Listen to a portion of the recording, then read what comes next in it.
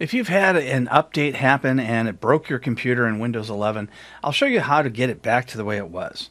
So I'll go to the Start button and click on Settings. And once we're in Settings, where it says Find a Setting, just type in Restore Point. Now you're going to need to make sure you set this up first. If you haven't done this already, then you're not going to be able to get this back. So click on Create a Restore Point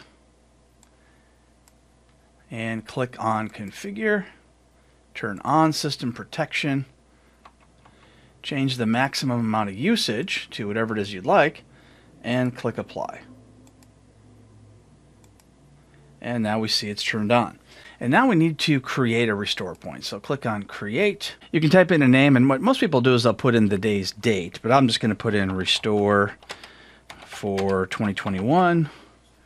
Click create. And after creating this restore point, you can go back in time to restore to this point. Now, if you can't boot into Windows, then you can boot off of a Windows 11 ISO or DVD, and you can find this restore point and restore from it that way. This is especially good in case you get infected with viruses or malware, because it allows you to go back in time before you were infected.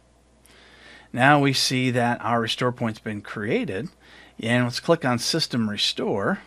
Click Next. And now we see my restore point. So you'll see several of these restore points when you go into it after you create your first one and after some updates have happened. And then you can use that to restore in case an update or malware gets into your computer.